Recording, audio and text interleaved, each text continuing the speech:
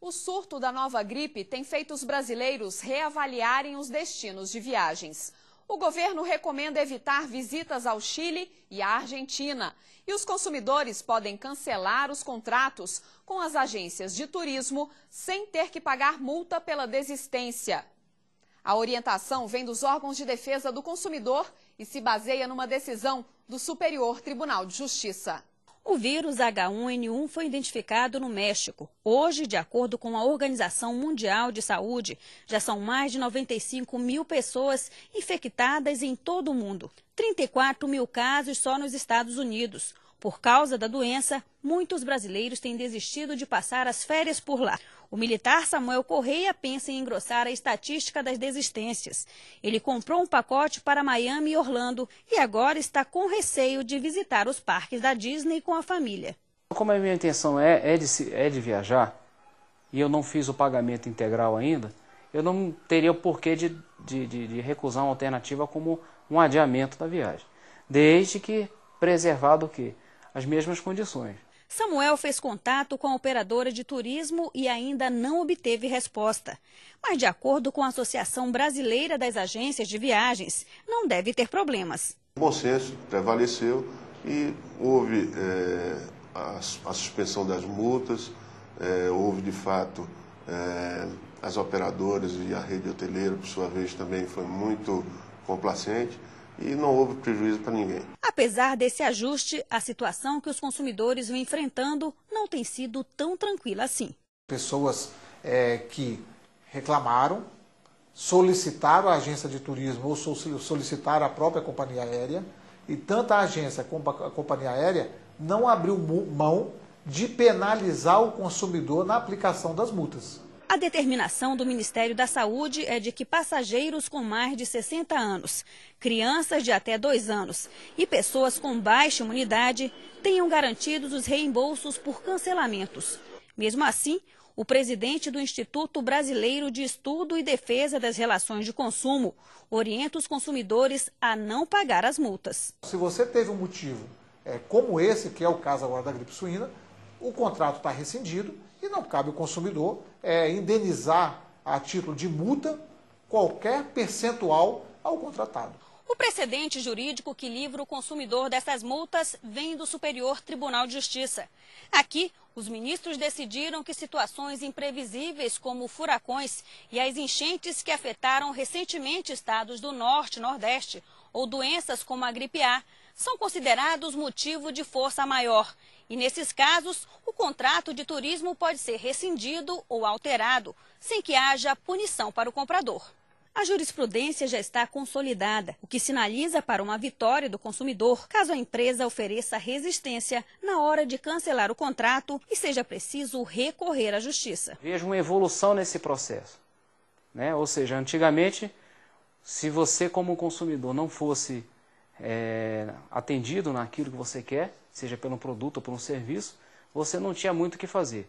Teria que recorrer à justiça comum. Mas era um processo longo.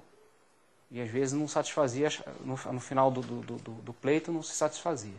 Hoje eu já vejo os órgãos de defesa do consumidor e os próprios tribunais com medidas e resoluções que já amparam o, o, essa relação de consumo e muito mais é o consumidor. Alheia ao impasse entre agências e consumidores, a pequena Carol lamenta ter de adiar os planos de conhecer a Disney. Tô querendo viajar, né? Só que essa situação da gripe suína tá, tá assim, tá, tá me assustando. Agora é só esperar, né? Ver se sai alguma promoção boa, assim. Ou quem sabe no meu aniversário de 15 anos eu vá. Para esclarecer detalhes sobre a nova gripe, que já atingiu quase mil brasileiros, nós vamos conversar com o professor da Universidade de Brasília, Pedro Tauil, médico sanitarista com experiência na área de saúde coletiva. Obrigada pela presença aqui no STJ Cidadão. Doutor. Eu que agradeço. Doutor, a primeira pergunta é de um cidadão que tem uma dúvida. Vamos ouvir? É, quais os sintomas da, dessa gripe suína? Os sintomas. Pois não. É, os sintomas da gripe é, gripe A, eles são semelhantes, idênticos aos da gripe sazonal ou da gripe tradicional. Isto é, febre, dor de cabeça, dores musculares, coriza, isto é, secreção pelo nariz, tosse e, quando ela complica, ela apresenta um quadro de insuficiência respiratória. Esse é uma, uma, um, um sintoma que aparece nos casos mais graves. E como detectar a diferença? Simplesmente por ou dados epidemiológicos, isto é, pessoas que estiveram em países onde a transmissão é, está muito elevada, ou por é, mecanismo de exame laboratorial.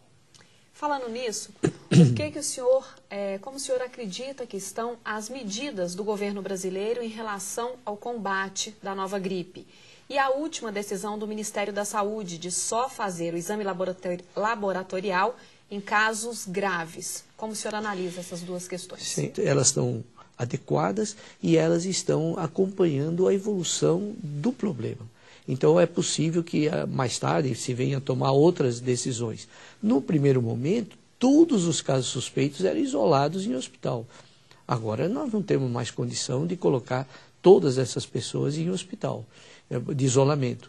Então há também a, o isolamento domiciliar, que é o indicado para os casos leves. E que tipo de pessoa corre mais risco, mais propensa a pegar a nova gripe? Jovens, idosos, crianças, gestantes? Crianças menores de dois anos, pessoas idosas acima de 60 anos, eh, pessoas que tenham doenças pulmonares crônicas, como asma brônquica, como eh, doença chamada doença obstrutiva pulmonar, eh, enfisema, e pessoas que tenham diabetes, hipertensão arterial ou tomam medicamentos que ou tenham doenças que são imunodepressoras. Essas pessoas podem evoluir mal. Acrescento ainda o caso de gestantes. Vamos ouvir outra pergunta de um cidadão. Se essa gripe mata, tem um percentual de morte maior do que uma gripe comum?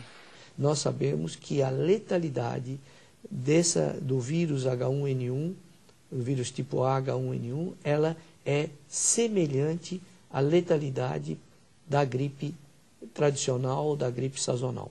Temos outra pergunta. Quanto tempo essa, esse vírus permanece no nosso organismo? Hoje, nós consideramos que a pessoa está eh, não mais portadora do vírus, eh, com uma margem de segurança, vamos dizer assim, de 10 dias. A pessoa que tem 10 dias de doença, ela já pode ter uma convivência normal com as outras pessoas. As pessoas que contraíram o vírus vêm enfrentando preconceito na volta ao trabalho.